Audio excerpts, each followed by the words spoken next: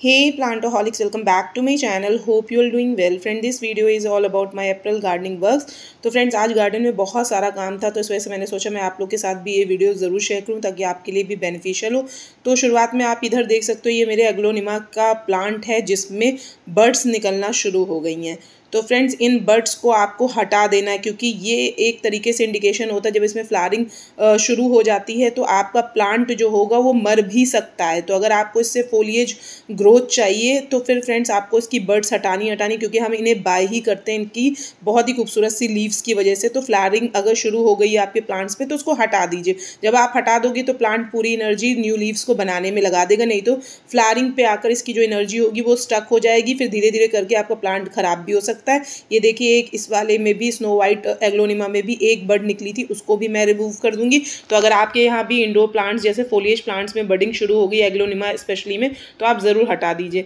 इधर फ्रेंड्स, मैंने आज कुछ प्लांट्स भी नए बाय किए थे तो वो भी मैं आपको इस वीडियो में दिखा देती हूँ। ये जो आप देख रहे हो, अडेनियम का प्लांट ऑल उसका फ्लावर गिर गया मुझसे अभी टूट के तो मैं ये जो प्लांट लेके आई थी तो मुझे 350 ईच पड़ा। मैंने दो लेके आई हूँ, एक ये येलो कलर का आप विद पॉट देख लो स्टैब्लिश प्लांट्स हैं। और एक और मैं आपको दिखा देती हूँ, ग्राफ्टेड ही प्लांट है, वो लाइट पिंक कलर का, उसमें मैंने बर्ड के थ्रू ही देखा है, अलग सा ही कलर निकलेगा तो मैंने इसको बाय कर लिया, काफ़ी अच्छा स्टैब्लिश ये भी प्लांट है। तो इन दो अडेनियम के प्लांट्स को बाय किया, इसके साथ साथ मैंने विंका के तीन प्लांट्स को बाय किया, जो कि मुझे बीस रुपये पर प्लांट पड़ा है। ये आप देखिए, बहुत ही खूबसूरत से शेड में है तो विंकाज अडेनियम्स और ये मॉस रोजेस को आप ज़रूर लगाइए, ये भी मुझे बीस रुपये का पड़ा था। तो फ्रेंड्स, अगर आपके पास भी इस तरीके के जो समर फ्लारिंग प्लांट्स आपने अभी तक ऐड नहीं किए, इनको ज़रूर लगाइए। आप ये देखिए, ये विंकाज मेरे ऑलमोस्ट दो साल पुराने हैं तो ये भी मैं आपको दिखा दूँ काफ़ी लंबे टाइम तक ये हाइब्रिड वराइटी है जो मेरे पास चली है।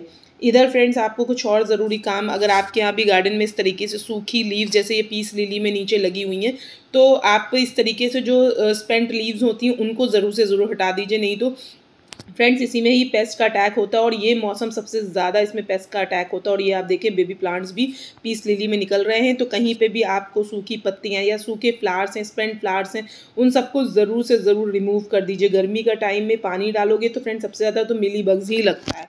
इधर फ्रेंड्स जो नेक्स्ट मैं आज काम कर रही हूँ, वो ये है मेरे जो बोगनवेलियाज के प्लांट्स ने फ्लारिंग बहुत अच्छे से की थी। इस सीज़न कुछ में फिर से बर्ड्स आ रही है, कुछ में फ्लारिंग होकर ख़त्म हो गई। तो जिसमें ख़त्म हुई तो उसमें मैं जहाँ जहाँ पे जो टिप्स होती हैं जहाँ पे कोई ग्रोथ नहीं हो रही, जैसे मैं ये कट करके आपको दिखा रही हूँ, यहाँ पे आगे कोई भी ग्रोथ नहीं हो रही है तो मैं इसको हटा दूँगी। आप ये देखो।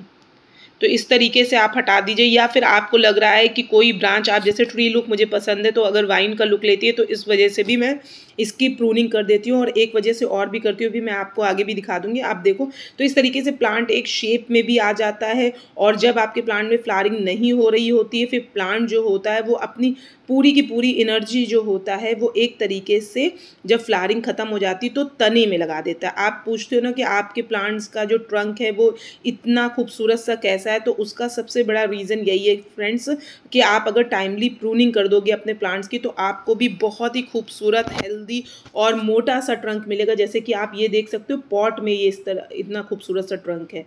तो ये चीज़ आप ज़रूर से ज़रूर करिएगा। आप ये देखिए इस तरीके की जहाँ कहीं पे भी आपको ब्रांचेस दिख रही हैं, जहाँ पे फ्लारिंग खत्म हो गई तो प्रूनिंग ज़रूर कर दीजिए। सॉफ्ट प्रूनिंग आप इस समय करिएगा। इधर फ्रेंड नेक्स्ट जो काम मैंने ऑलरेडी कर लिया था, मैं आपको इसलिए दिखा रही हूँ कि आप ज़रूर से ज़रूर कर लो मल्चिंग ये मेरे गुलाब के प्लांट्स आप देखिए कितनी अच्छे से न्यू ग्रोथ भी निकल रही है और फ्रेशली फ्रेंड बर्ड्स भी आ रही हैं न्यू शूट्स आ रही हैं बेजर शूट्स भी आ रही हैं। उसका एक रीज़न यही है कि अगर आप मल्चिंग कर दोगे तो इनको मॉइस्चर फ्रेंड ये शाम का पानी डाला हुआ है मॉर्निंग में मैं शूट भी कर रही हूँ, ये नौ दस बजे के टाइम और आप देखिए मेरे प्लांट की सॉइल कितनी अच्छे से अभी भी बनी हुई है, और अभी के टाइम में फ्रेंड्स मैं दो टाइम भी कई कई बार पानी डाल देती हूँ जब मुझे ज़रूरत पड़ती है जिन प्लांट्स में, नहीं तो कभी मैं शाम को, कभी मैं अर्ली मॉर्निंग भी पानी को डाल देती हूँ। तो आप फ्रेंड्स इधर जो आप मेरे नेक्स्ट जो इधर प्लांट्स देख रहे हो जिसमें मुझे काम करना है, ये मेरे जीनियाज के प्लांट्स हैं, जिनके नीचे फ्रेंड्स आज मैं वाटर ट्रेस को लगाऊँगी क्योंकि इन्हें भी मॉइस्चर की रिक्वायरमेंट होती है। तो आप इस समय मल्चिंग है वाटर ट्रेज हैं, जो ट्रेज होती है, उनको ज़रूर से रख, ज़रूर रखिए। इससे आपके प्लांट्स को मॉइस्चर भी मिला रहेगा और आपके प्लांट्स लंबे समय तक हाइड्रेट रहेंगे। आप ये देखिए, ये ट्रेज़ हैं, इनको मैं इसके नीचे रख दूँगी। फिर जैसे जब मैं पानी डालूँगी तो इसमें जो एक्सेस वाटर होगा, वो नीचे आ जाएगा। उससे फ़ायदा यही होगा होगा फ्रेंड्स अगर मैं सुबह अर्ली मॉर्निंग में पानी डाल रही हूँ तो शाम तक मेरे प्लांट्स जो होंगे, वो झुलसेंगे नहीं इतनी ज़्यादा तेज़ धूप में। इसका ये बेनिफिट बहुत होता है तो अगर आपके पास हैं तो कोई भी ट्रेज हैं प्लेट्स हैं, आप उनको रख दीजिए मल्चिंग ज़रूर करिए, जो कि मैंने आपको पहले बता दिया है, इससे आपके प्लांट्स हरे भरे बने रहेंगे, पूरी गर्मी भर। आप ये देख लो, इधर मैंने जो मेरे देसी गुलाब थे, इनमें ऑलरेडी बहुत पहले से ही मैंने ट्रेस रख दिया था, क्योंकि इनके फ्लावर्स काफ़ी डेलिकेट होते हैं लीव्स भी बहुत ज़्यादा सॉफ्ट सी होती हैं तो ये जल्दी मुरझाने लगती हैं या कड़क होने लगती हैं तो इस वजह से मैंने कर दिया। इधर मेरे कुछ रोज़ प्लांट्स की मैंने लोकेशन को भी शिफ्ट कर दिया है। मैंने यहाँ पे इनको शेड वाले एरिया में रख दिया। यहाँ पे सिर्फ़ और सिर्फ़ फ्रेंड्स मॉर्निंग की ही सनलाइट आती है, दोपहर वाली सनलाइट नहीं आती है। अर्ली मॉर्निंग में शूट कर रही हूँ तो अभी इधर जो धूप है वो थोड़ी देर के बाद ही आएगी। फ्रेंड्स आठ से नौ बजे के करीब इधर धूप आ जाती है, फिर वो रहती है बारह बारह बजे तक, उसके बारह बजे के बाद की नहीं आती है। इधर फ्रेंड्स जो नेक्स्ट काम आपको हर हफ़्ते करना है, वो है वीकली गुड़ाई। जिसको लेके फ्रेंड्स गर्मी का भी टाइम है, तब भी कीजिए, क्योंकि वीड्स जो होती हैं, गर्मी में ऐसा नहीं कि आप हम लोग जब करते हैं तो मॉइस्चर ही इवेपोरेट होता है। वीड सबसे ज़्यादा गर्मी में तेज़ी से बढ़ती है।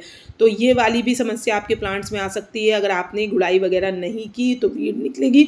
वीड निकलने से ये होगा कि वीड आपके प्लांट्स की जो एनर्जी होगी, वो ले लेगी। जो भी आप न्यूट्रिशन दोगे अपने प्लांट्स को, वो ले लेगी। और एक एडिशनल चीज़ मैं आपको और बता दूँ, इस मौसम में स्पेशली समर सीज़न में, गोबर की खाद को आप थोड़ा सा स्किप ही कीजिएगा क्योंकि उसकी तासीर गर्म होती है और ज़्यादा ओवर फर्टिलाइज भी अपने प्लांट को मत कर दीजिएगा। कम जिन प्लांट में बिल्कुल रिक्वायरमेंट नहीं है, जैसे कि गुलाब के प्लांट्स में अभी आप बिल्कुल कुछ काम ना करिए, बारिश के टाइम पे आप उनको खाद वगैरह जो भी आपको देना वो करिएगा। इधर फ्रेंड्स जो नेक्स्ट मैं काम कर रही हूँ, हर पंद्रह दिन पर मैं करती हूँ, वो है नीम ऑयल का स्प्रे जैसे कि मैंने बताया कि गर्मी का टाइम होता है, सबसे ज़्यादा मिली बग्स जो होते हैं वो लगते हैं और मॉस रोजेज हो गए पोटलाकास काफ़ी ज़्यादा प्रोन होते हैं मिली बग्स को लेकर।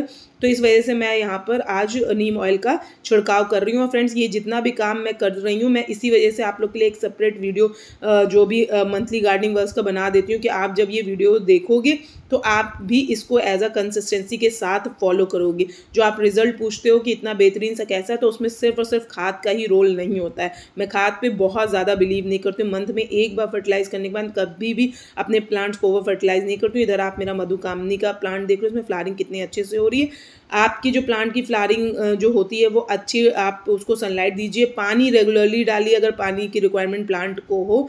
तो ये सब और गुड़ाई वगैरह, इसका भी रिज़ल्ट आपको अपने प्लांट में ज़रूर देखने को मिलेगा। तो फ्रेंड्स आई होप आप लोगों को मेरा ये आज का वीडियो पसंद आया होगा।